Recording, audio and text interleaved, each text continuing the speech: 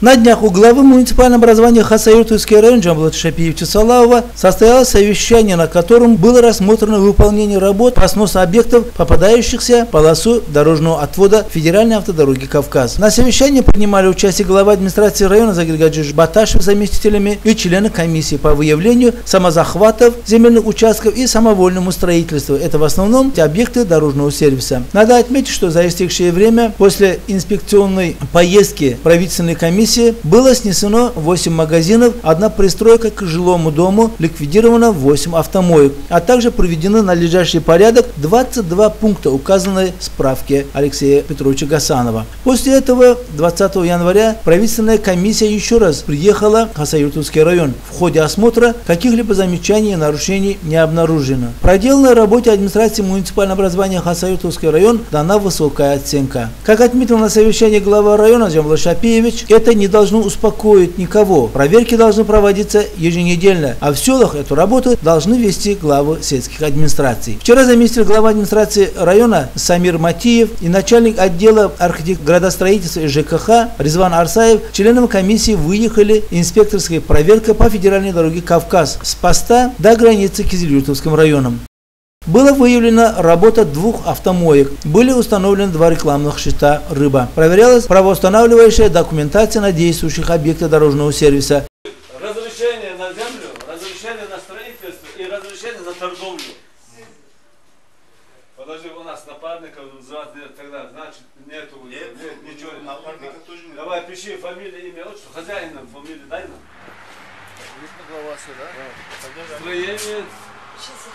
Их, их Он дается 24 часа закрыть, будку убрать. Потом получить официальное разрешение, построить и открыть. Вот прямо стоит на тротуаре. Вон там есть тротуар, здесь его нет. Что на него документов нет, на тротуар документов не бывает, это мы знаем. А документ на землю, на строение, налоговый, все ко мне или в земельный комитет. Понял? Есть, есть разрешенное использование, цель отвода. Вот что, если под ИЖС, ты дом должен построить, если под магазин, магазин, если... Вот есть, вот удивительный случай, да? Вот мы взяли, мы вот целый день потратили, чтобы вот эту рекламу, вот эту рыбу убрать. Целый день потратили. Ну вот сегодня вот опять стоит. Документ на землю, документ на это и документ на налоговый, чтобы завтра в 9 часов у меня был.